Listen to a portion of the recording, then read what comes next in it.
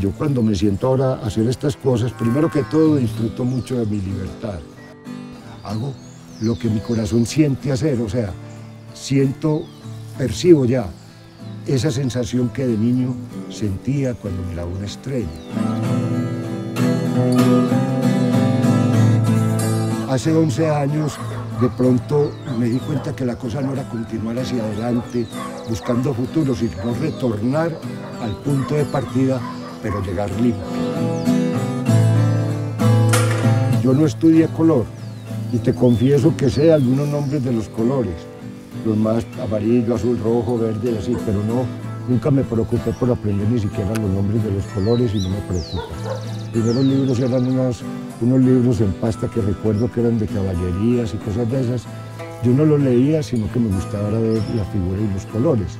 Yo no sé, brota el color en un momento dado, en un momento en que yo tuve un encuentro eh, y aparece el color, no sé por qué, y yo siento el color, pero no, yo no siento simplemente.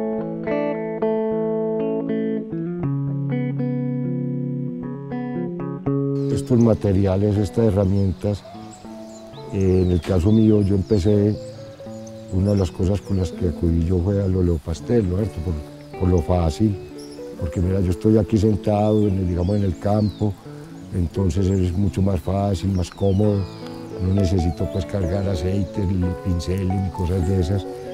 Lo mismo el lápiz, este lápiz me permite pues, jugar con estas cosas, hacer todo esto. Sí, con comodidad y sin tener como mucha, mucha carga pues.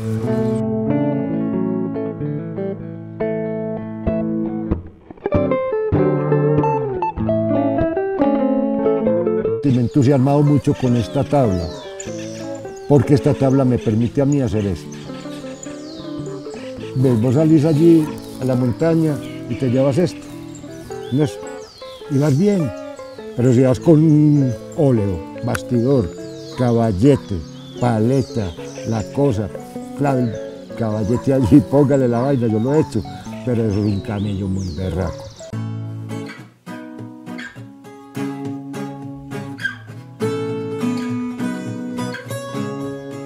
Yo siempre he trabajado con pocos colores, pero nunca he llegado a trabajar con más de cuatro o cinco colores, que son los tres primarios, el blanco y el negro, o a veces agrego algunos azules y unos amarillos estos, por ahí. Pero sí me encontré con que la tabla me presenta a mí un arco iris, pues un paraíso de colores. Es como de uno adaptarse a ella porque ya sabes, es con el dedo. Eh, y hay otras cositas que yo creo que uno, pues trabajando, investigando con ella, puede alcanzar grandes cosas.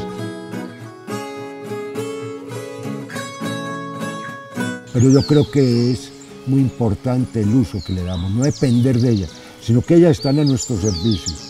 Yo no puedo poner, yo no puedo ser esclavo del computador. Esto no me llegó por eso, por, por azar sino porque es una respuesta que ya la vida me, da, me trae esta tabla, por ejemplo, y me dice, mira, ya tienes una nueva oportunidad, entra a la nueva era, pero sigue siendo el que eres.